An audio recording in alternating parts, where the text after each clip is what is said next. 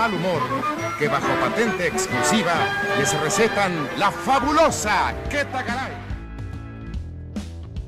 ¿Qué fue de Queta Garay? Cantante de Las caricaturas me hacen llorar. Falleció a los 45 años por esta razón. Llegaron mi mejor amiga y mi novio, mi gran amor. Su nombre completo era María Enriqueta Garay Villarreal. Nació el 26 de enero de 1935 en Villa Aldama, Nuevo León. En 1944, a la edad de 9 años, llegó a la ciudad de Monterrey para cursar el quinto grado. En el Colegio Excelsior fue cuando empezó a tomar clases de piano y de baile. Posteriormente terminó su carrera de secretaria con excelentes calificaciones, ingresando a trabajar, pero eso no fue motivo para abandonar su gusto por la música. A la par de su trabajo, participó en la estación radiofónica XEOK, en donde con tan solo 14 años ganó el concurso de canto en la hora de los aficionados. Al poco tiempo dejó su trabajo de secretaria para conducir un programa de radio, donde tenía la oportunidad de interpretar con su hermosa voz a los compositores de moda, abarcando varios géneros musicales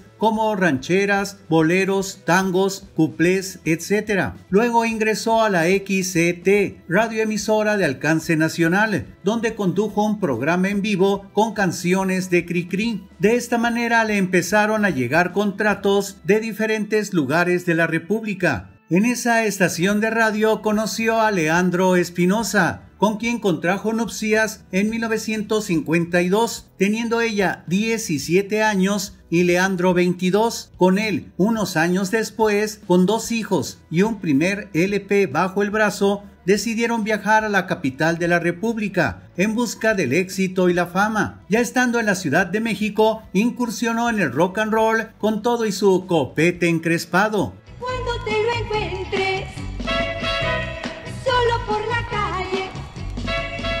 Grabó varios discos sencillos, EPs y LPs, siendo el primero de ellos de éxitos de rock and roll americano, principalmente covers a temas de los Platters, convirtiéndola en 1959 en una de las cantantes más solicitadas. Y es que dos días después de su audición con los directivos de Orfeón Dimsa, Keta ya se encontraba grabando temas como El Telegrama. Bajo la dirección de Panchito Pérez, grabó lo que sería su primer gran éxito, Las caricaturas me hacen llorar, cuya letra es de su autoría. En 1964 incursionó en el cine, en la película Blue Demon contra el poder satánico. Ahí Keta interpretó la canción Hazme un favor y tuvo la oportunidad de compartir la pantalla con María Elena Cervantes, Jaime Fernández y Fernando Océs. Keta grabó bajo la dirección musical de prestigiosos directores como Gustavo Pimentel y Sergio Pérez. Además fue acompañada en algunas grabaciones por los Rockets y los Matadores.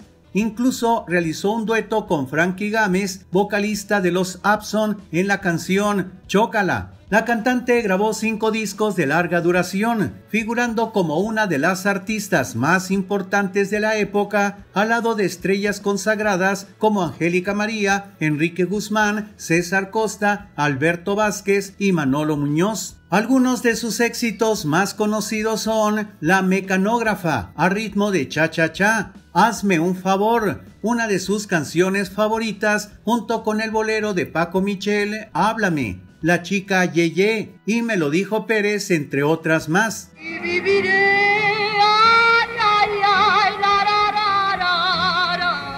Gracias a sus éxitos, participó en importantes programas de televisión como Sonrisas Colgate, Estudio Raleigh y Yate del Prado, donde alternaba con comediantes de la talla de Óscar Ortiz de Pinedo y Los Polivoces. A lo largo de su carrera, Queta realizó distintas giras, tanto en la República Mexicana como a nivel internacional. Es de mencionarse la realizada en Chile con una duración de tres meses, cumpliendo contratos en El Bodegón, donde el público quedó encantado con su voz. También realizó giras en Perú, Venezuela y Coney Island en Nueva York. En la Ciudad de México cantó en diferentes espacios de lujo como el Chips, La Fuente y en los teatros Lírico, Iris y El Zorro de Acapulco. En Monterrey se presentó en el Ramada Inn y en su terruño Villa Aldama fue ovacionada por sus paisanos en el cine Terraza. Entre 1963 y 1964 recibió cinco trofeos Ángeles por la popularidad de sus canciones, así como cinco micrófonos de oro por la Asociación Nacional de Locutores, mientras que en 1965 recibió de los medios de comunicación el trofeo Radio Éxito por su canción La chica Yeye. Keta Garay se mantuvo vigente hasta 1968, pues al igual que otras cantantes, quizás su imagen resultó demasiado madura para esos tiempos o ya era considerada un poco mayor respecto a otras baladistas juveniles del momento. Tristemente, Keta Garay falleció el 20 de agosto de 1980 a los 45 años de edad debido a complicaciones derivadas de una infección renal.